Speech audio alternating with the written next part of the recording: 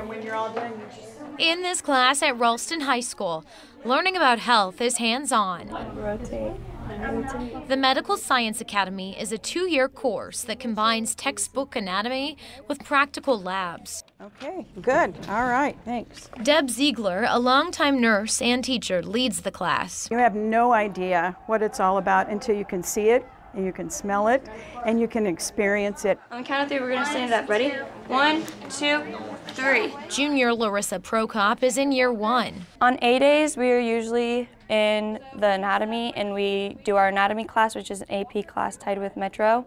And then on B days, we're in here, and we're learning um, our skills, and then we're usually up and around every day in here. At the end of year one, students earn certified nurse assistance licenses and are eligible to work in the state of Nebraska as a CNA. To take a CNA class outside of high school currently costs right around five to six hundred dollars. And outside of school, it's pretty rigorous in that they do it in approximately six weeks. Allison Ray is a senior and is in year two of the program. Her group spends time outside Ralston at places like Bergan Mercy or Papillion Manor, gaining practical experience working.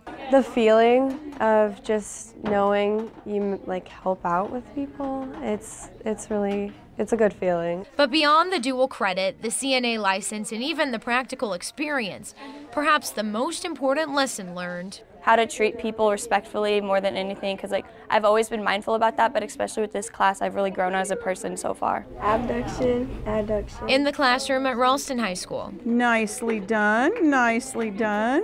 Lindsay Thies, 3 News Now. Okay, who's next?